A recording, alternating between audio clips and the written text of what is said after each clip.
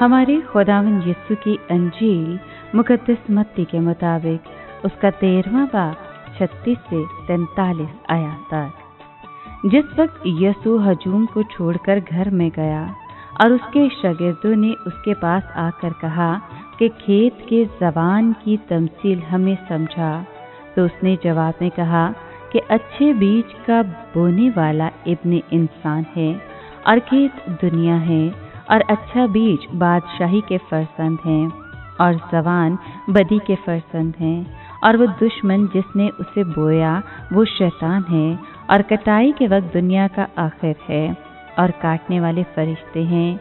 बस जिस तरह जवान जमा किया जाता और आग में जलाया जाता है, ऐसा ही दुनिया के आखिर में होगा। इतने इंसान अपने फरिश्तों को भेजेगा और वो सब ठोकर खिलाने वाली चीज़ों और बदकारों को उसकी बादशाही में से जमा करेंगे और उन्हें आग की भट्टी में डाल देंगे। वहाँ रोना और दांतों का पीसना होगा।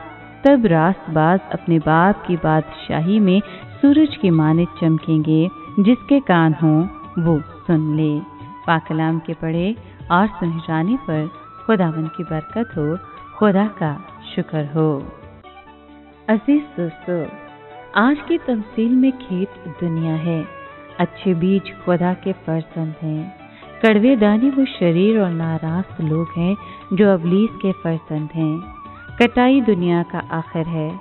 काटने वाले फरिश्ते हैं जो आखिर में अबलीस के फरसंदों को पकड़कर आग की भट्टी में डालेंगे। अज़ीज़ दोस्तों, अबलीस ने इस दुनिया में बहुत से फरसंद बना लिए हैं। हमें ना तो उनके साथ मिलना है और ना उनके जैसे काम करने हैं, ताकि हम भी उनके रंग में रंग ना जाएँ। आज की तमसील में मसीह यसु बीच को खुशखबरी नहीं, बल्कि ये कहता है कि ये बादशाही के फरसंद हैं। ये खुशखबरी का वसीला पैदा करते हैं और फिर इन्हें आदमियों के दरमियान बो दिया जाता है। शैतान भी इनके साथ अपना बीज बो देता है। अबलीस के फर्जंद खुदा के फर्जंदों की मानत दिखाई देते हैं, जैसा कि कड़वे दाने गेहूँ की तरह।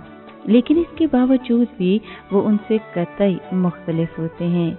इन्हें फ़सल की कटाई के मौके पर जुदा किया जाता है। यहाँ हमें नकल से बचने की तलकीन की गई है। बहुत से लोग बराए नाम मसीही ऐसे हैं, जो अपने आप को पक्के मसीही ज़ाहिर करते हैं। लेकिन हमें उनसे बचना चाहिए।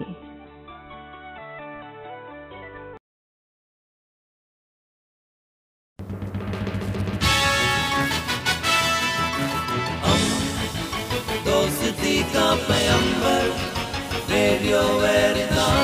एशिया।